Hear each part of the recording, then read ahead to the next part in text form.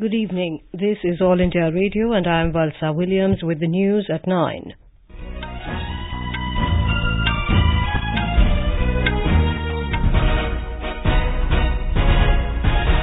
The headlines. Prime Minister Narendra Modi underscores the need for the centre and all states to work together against the threat of COVID-19 outbreak.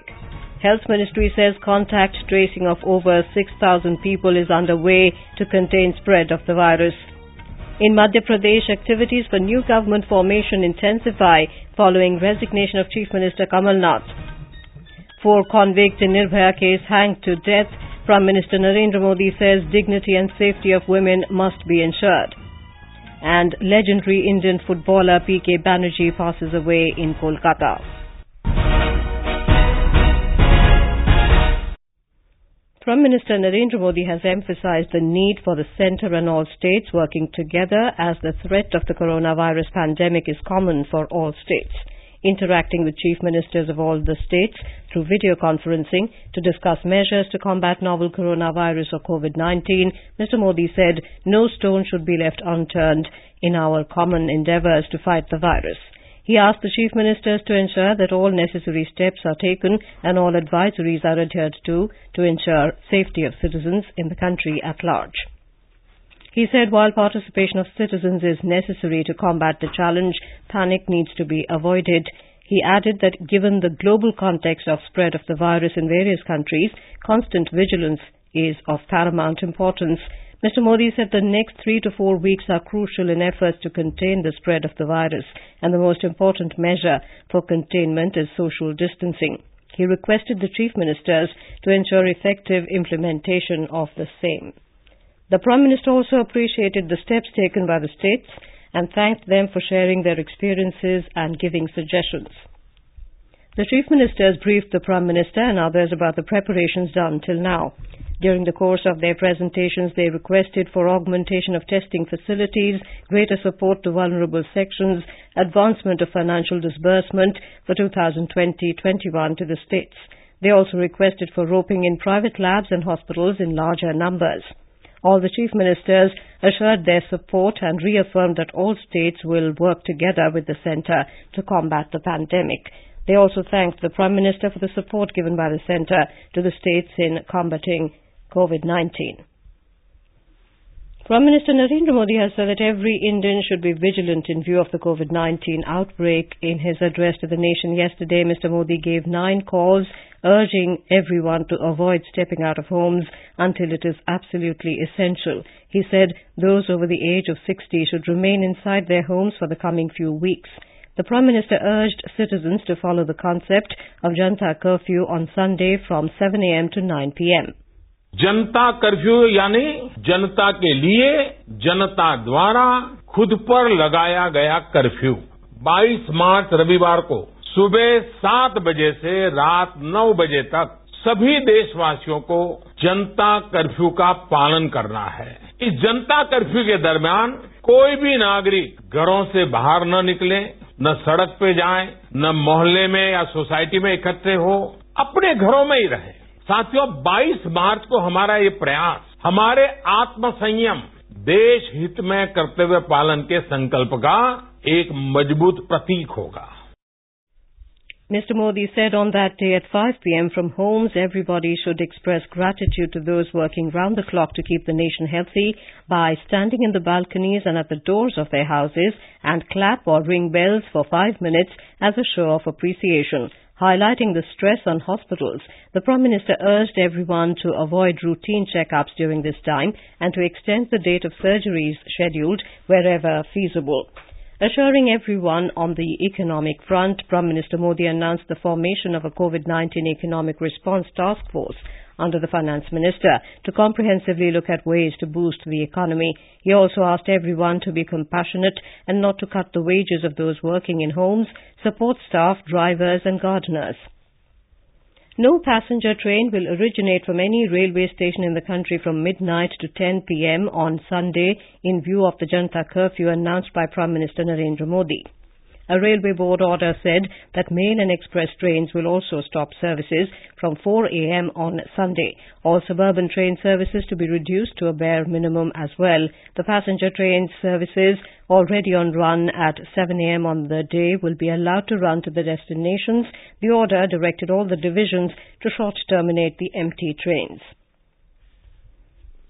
Delhi metro services will remain closed on Sunday in view of Prime Minister Narendra Modi's call for Janata curfew on that day. Delhi Metro Rail Corporation authorities said the move is aimed at encouraging the public to stay indoors and maintain social distancing.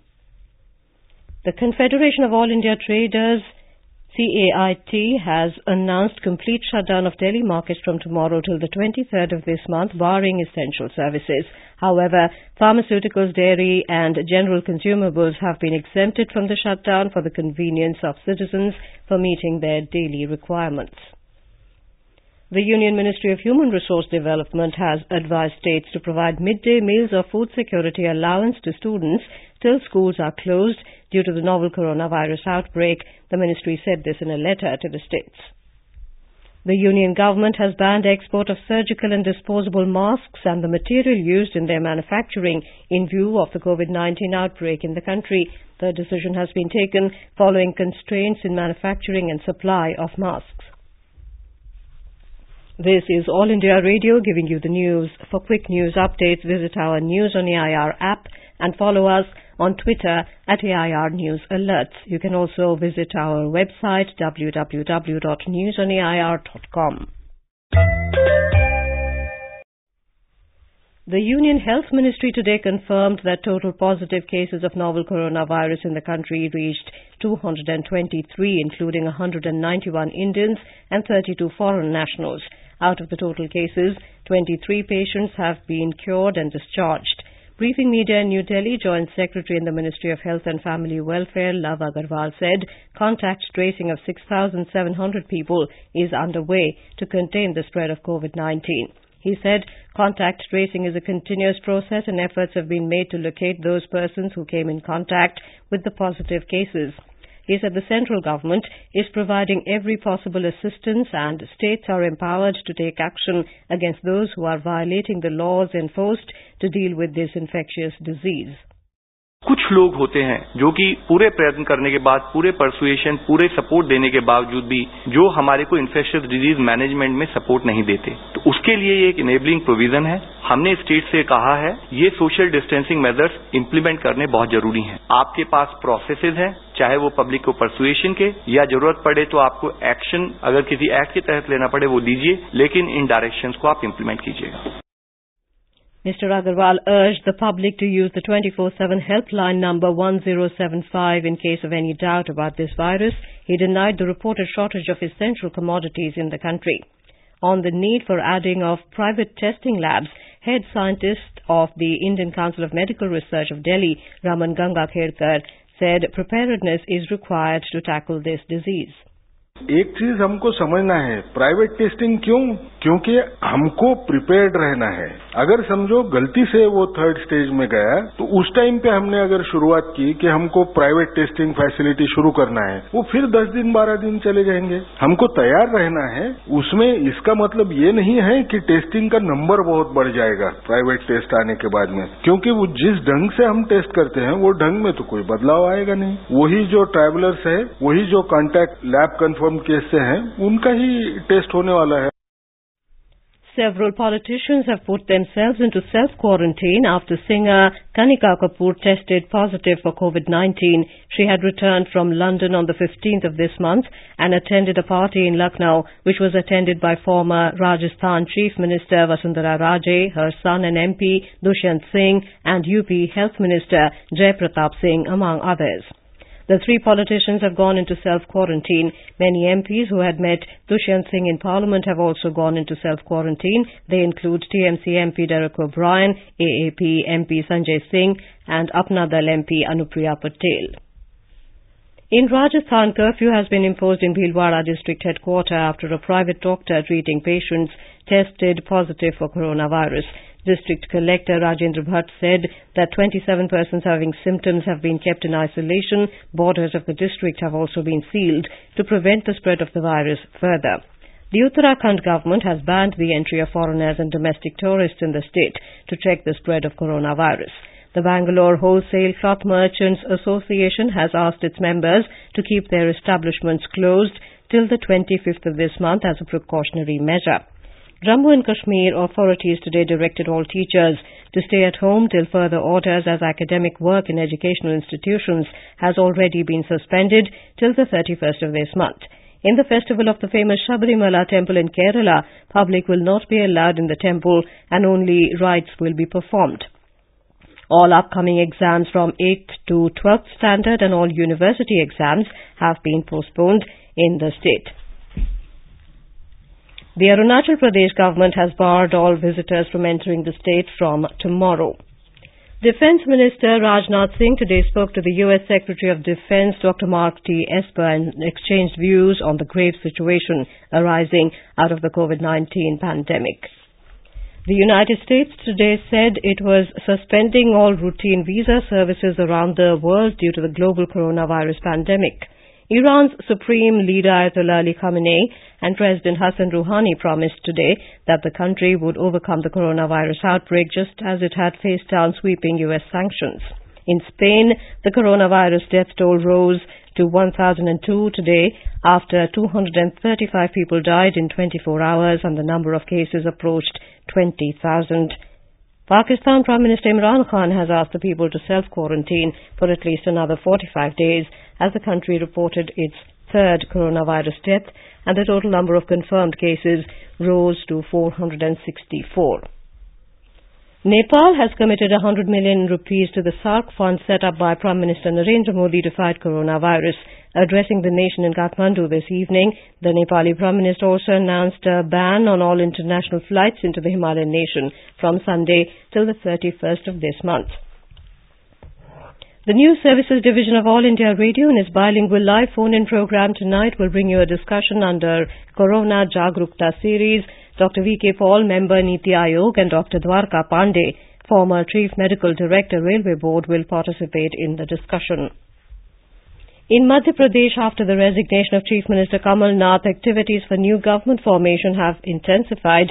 Accepting the resignation of Mr. Kamal Nath, Governor Lalji Tandon has asked him to work as caretaker Chief Minister.